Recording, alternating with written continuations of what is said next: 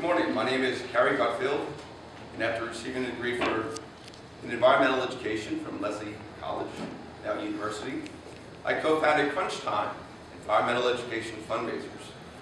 Crunch Time teamed up with Newman's Own Organics and sold their chocolate to school groups all across the country as part of a fundraiser.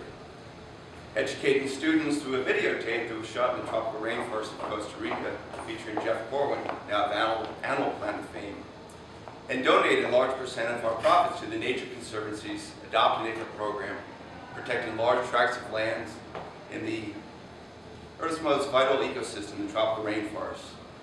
It is indeed crunch time for planet Earth, and I continue to teach our youth and others about critical issues affecting the environment.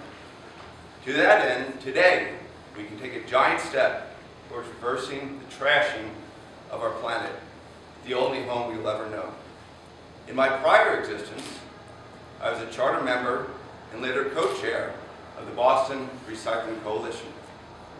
The grassroots organization that worked tirelessly with the mayor's office and many city councilors and was triumphant in bringing full curbside recycling to all Boston residents 18 years ago this coming November.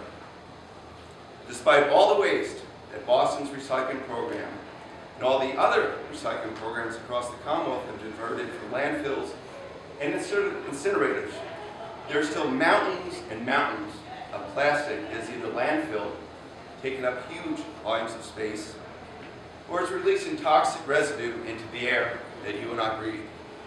It's time to stop this insanity give those plastic water bottles and juice bottles the second, third, and even fourth life instead of wasting a finite energy source, oil, to make a container that all too often is discarded by the roadside, littering our landscape. When we brought curbside recycling to Boston, the largest landfill in the world was the now capped Fresh Kills landfill on Staten Island. One of only two man-made objects you could see from the moon, the other being the Great Wall of China. Today, the world's largest landfill is floating in the Pacific Ocean, twice the size of Texas, most uh, scientists estimate, or 67 times the size of Massachusetts. Most of it is plastic. Much of that plastic is bottles.